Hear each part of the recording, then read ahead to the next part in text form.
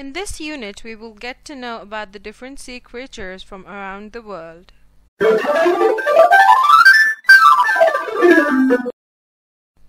This is a cuttlefish, the cousin of squid and octopus.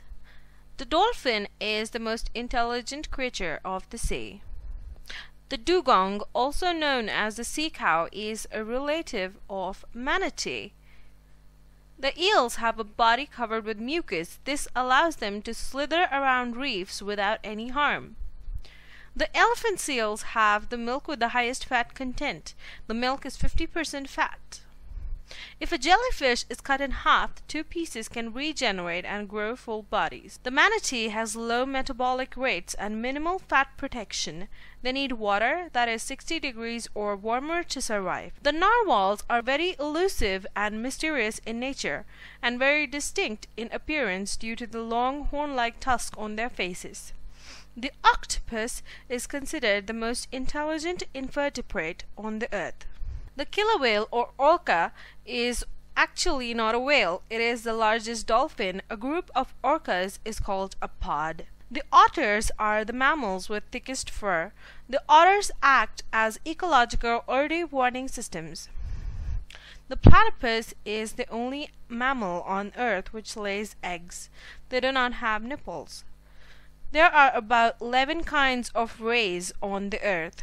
The one in the picture is a manta ray and the manta rays are known as devil rays. The sea cucumber is not a sea cucumber, it is an echinoderm which dwells at the bottom of the sea. The male seahorse carries the eggs after they are fertilized by the female in order to make more eggs for faster reproduction. The sea lion can hold its breath for two hours. They propel with the front flippers and steer with the back. Seals do the opposite. The seals use their whiskers to detect their prey. They can control the blood flow to their vital organs. The shark has a skeleton made entirely from cartilage.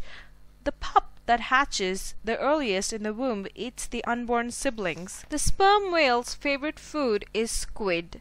Dead sperm whales washed ashore have been said to burst because of the gases released inside it due to decomposition. The squids are known to be the fastest invertebrates. They swim backwards and they have largest eyes in the animal kingdom. The starfish does not have a brain or blood in its body.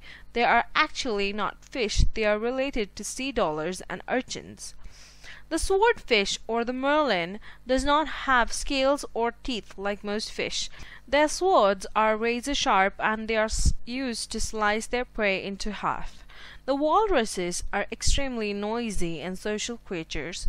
A walrus's hierarchy is defined by the length of its tusks.